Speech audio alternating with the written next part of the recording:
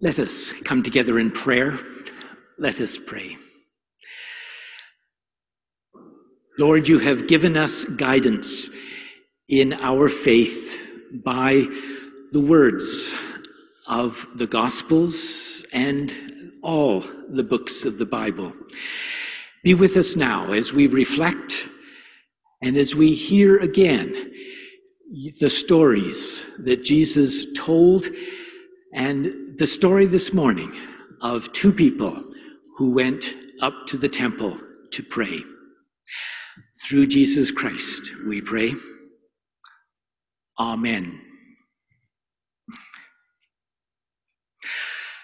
There are three things on my mind as I invite you into a time of reflection during worship this morning. The first is happy anniversaries. Let us celebrate together.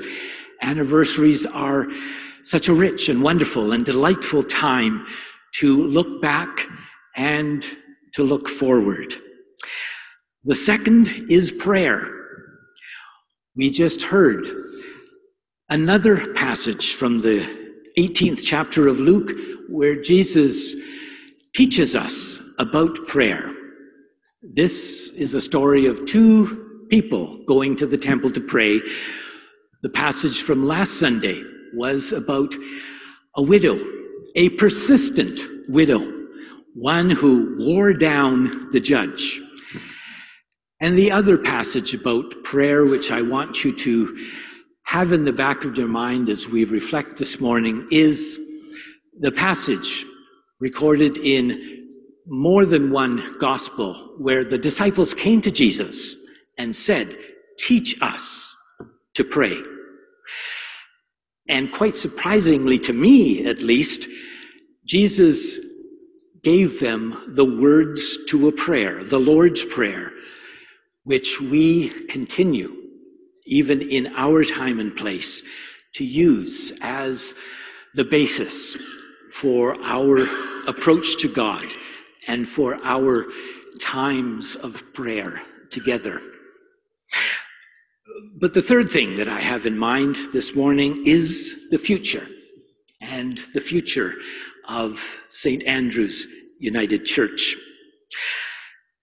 Jesus unquestionably taught his disciples, if not from the beginning, how to pray throughout their time of following him, enriched and helped them to grow and more fully understand what part a life of prayer could, pl- could play in each of our lives. And he did this mostly by example. Uh, frequently, the Gospels talk about Jesus going off by himself. We don't know exactly what he did, but we knew that he was in the habit of praying on a regular basis uh, at all times during his ministry here on earth. And I cannot help but feel that what Jesus taught his disciples mostly was by his example by his presence. And not just as in that one passage I mentioned where the disciples came and said, Teach us how to pray. Was it by giving them the actual words of a prayer to say in their lives? I was six years old when my grandmother, my father's mother, came to live with us.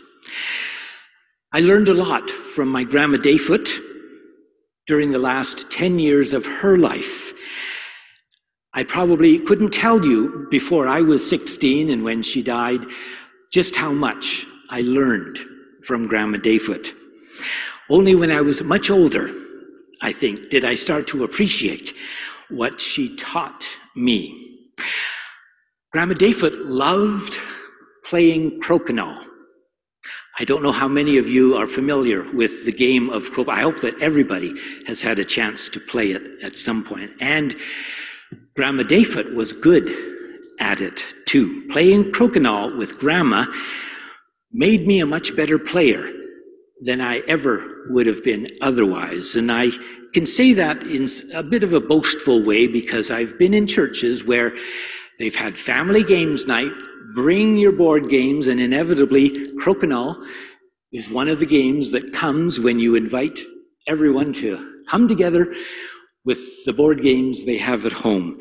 And I can't tell you if I have always been the champion in those church family games nights, but I have certainly been someone who others wanted to beat if they wanted to have any uh, opportunity to boast. Grandma never gave me instructions on how to play crokinole. She never told me what to do. All she did was play to win every time I sat down with her. I learned that a good player does not always shoot the pieces as hard as possible. Sometimes you use lots of force, sometimes it's a soft touch, which gets you a whole lot more points uh, otherwise. I learned that you have to hide behind a peg because if you left them out in the open, Grandma always knocked them right off the board. She rarely missed a shot and so I learned from Grandma that in life, I need to make every effort count as well.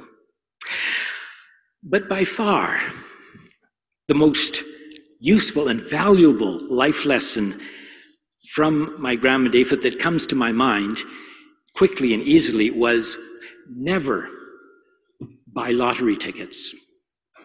Just don't do it.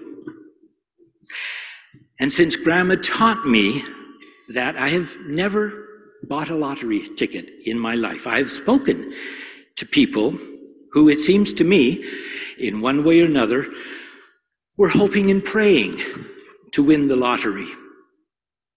I don't know if I would call that a lesson in prayer or not, but it seemed quite sincere on their part. But eh, in one way or another, and it was not always easy for me when I saw the Montreal Olympics arrive in 1976 and you could win a million dollars. I thought, surely Grandma must be going to change her mind a little bit here. But nope. Nope. Not at all. Now, of course, before 1925, before the United Church existed, Grandma was Methodist. She was a strict Methodist, just like St. Andrew's United Church before it was St. Andrew's. And being a strict Methodist, that meant no drinking, no smoking, no gambling. I'm not sure if everyone in my family, including myself, has learned the lessons that she practiced in her life quite so strictly. Nevertheless, starting off with that foundation was an incredible help and a security which enabled me to consider many of the decisions I made later on uh, much more carefully.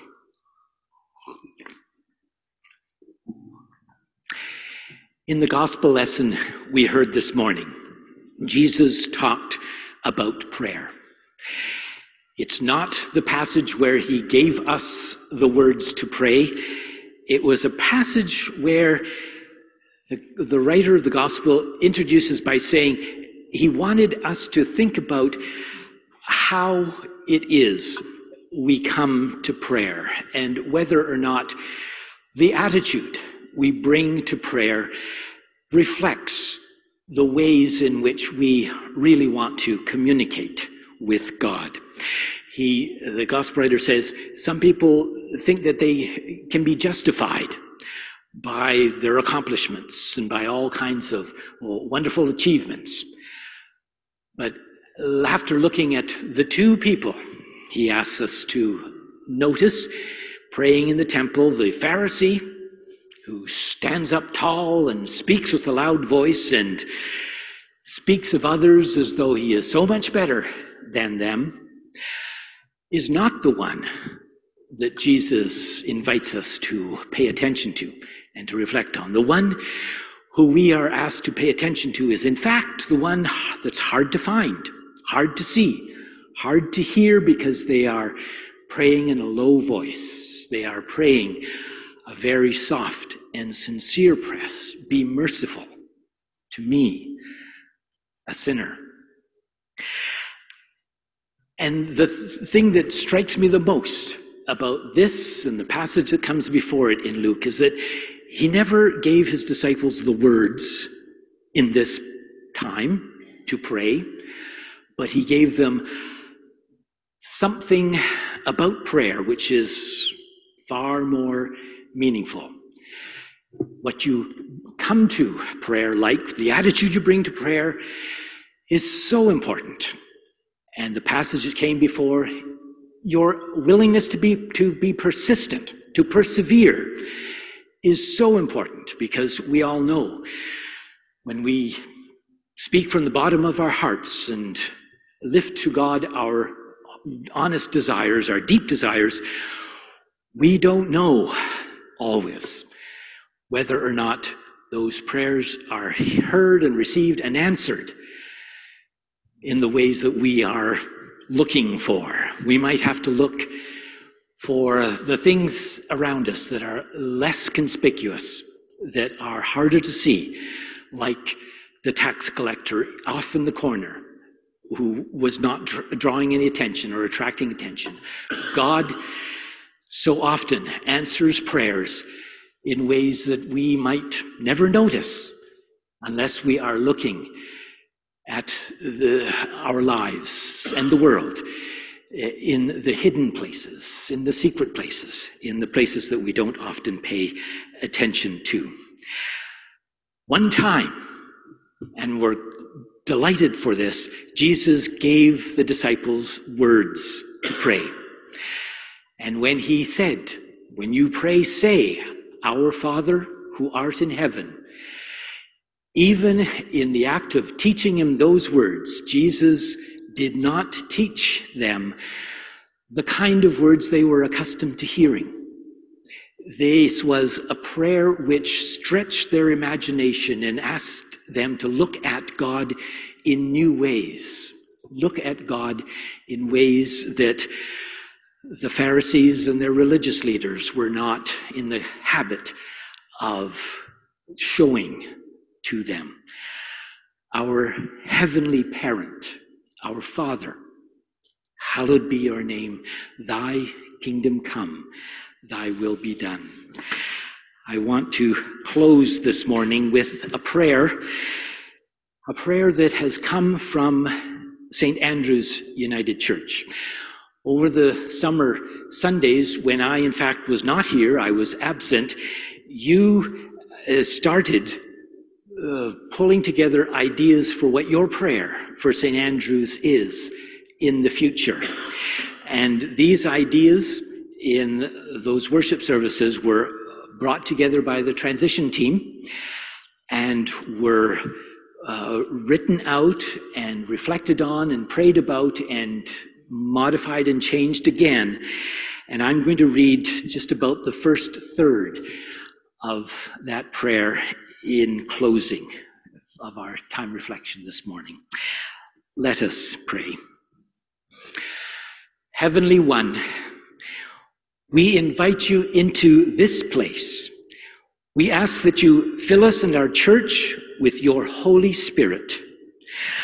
Lord, as we venture in and out of seasons of change, loss, joy, and everything in between, we pray that you will grant us peace.